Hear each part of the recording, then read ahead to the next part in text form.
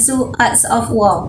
Okey, uh, buku ini memang terkenal dan sewaktu saya masih bekerja, memang saya selalu mendengar tentang buku ini sehingga kan saya mencari buku ini uh, untuk mengetahui apakah isi di dalamnya. Assalamualaikum. Hai. Selamat datang ke YouTube channel Nur Samila Samsudin. Pihak pengurusan seringkali berbicara tentang Sun Tzu Arts of War.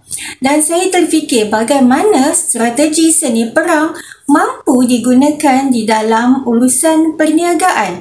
Malah juga digunakan ketika kita membuat pengurusan sumber manusia. Kita manage people. Jadi sewaktu saya masih bekerja saya telah mendapatkan buku ini Okay, buku ini di dalam bahasa Inggeris dan dia diterbitkan oleh Watkins Publishing London ya.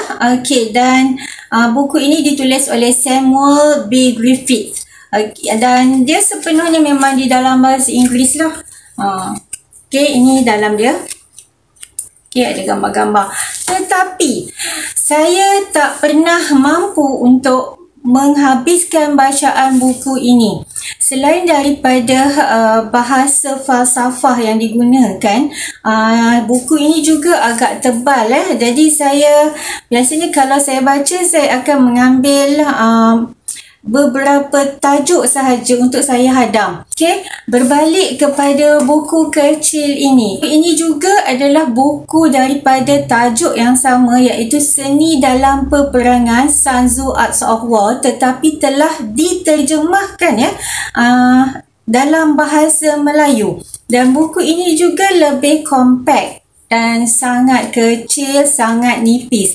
Jadi uh, saya rasa okey, kenapa tidak saya dapatkan buku yang kecil ini? Mungkin seseorang bukan sahaja telah menterjemahkannya ke bahasa Melayu, tetapi juga telah uh, menulisnya semula dalam bentuk yang lebih padat. Dan saya rasa saya mampu menghabiskan bacaan senipis ini dan bila saya dah mula faham, dah dapat idea tentang isi buku dan juga uh, strategi seni perang di dalam buku ini, mungkin saya boleh kembali kepada buku asalnya iaitu uh, yang berat ni, yang tebal ni. Ha. Okay, jadi uh, saya pun membeli buku ini dan usaha penterjemahan ini telah dilakukan oleh pihak Biblio Press dan uh, kata pengantarnya ditulis oleh Aiman Rashdan Wong terjemahan oleh Fahmi Mustafa dan Li Ziyang okay, pada saya satu usaha penterjemahan yang sangat baik selain daripada dia memudahkan kita ya nak membaca buku strategi seni peperangan bukan mudah ya sebab kita bukanlah orang yang akan pergi berperang di medan perang. Uh, kita adalah orang-orang biasa yang hidup kita uh, dengan pekerjaan kita, dengan kehidupan kita sekeluarga macam tu. Kita tak terlibat dengan peperangan di medan tempur sana. Okay. Tetapi buku ini masih relevan kepada kita dengan isi-isi di dalamnya jika kita pandai memanipulasi setiap perkara yang diketengahkan di dalam buku ini. Itu macam bukan buku motivasi, bukan buku pengurusan yang dia tulis direct tentang pengurusan tetapi dia mengajar kita betul-betul tentang seni peperangan. Ha, dan uh, dia punya contoh-contoh pun memang dekat latar medan perang. Ha, sewaktu dia sebelum, sewaktu perang dan selepas perang. Okay. Tetapi kenapa ya buku ini dikatakan uh, banyak digunakan oleh ahli perniagaan untuk menaikkan motivasi mereka dan membantu mereka dalam menguruskan perniagaan mereka.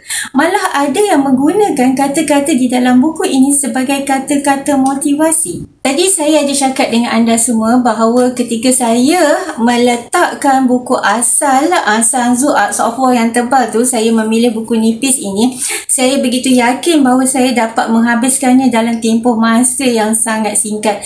Tetapi apa yang berlaku adalah sebaliknya. Saya mengambil masa hampir dua minggu untuk menyelesaikan bacaan saya. Saya tak boleh nak capai satu uh, kefahaman terhadap apa yang saya dah baca sebelum ini. Jadi saya terfikir kalau berterusan begini bagaimana saya nak dapat ilmu apa yang ada di dalam buku ini.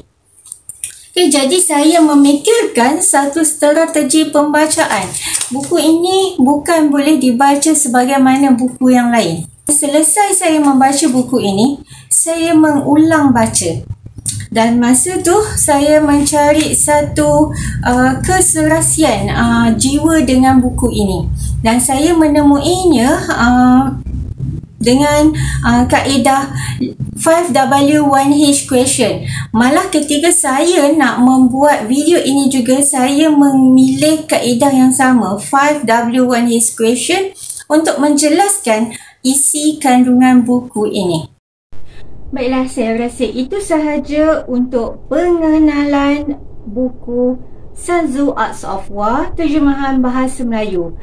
Ikuti video yang seterusnya bagi melihat bedah buku Sanzu Arts of War menggunakan teknik 5W1 His Question. Sekian, Assalamualaikum warahmatullahi wabarakatuh.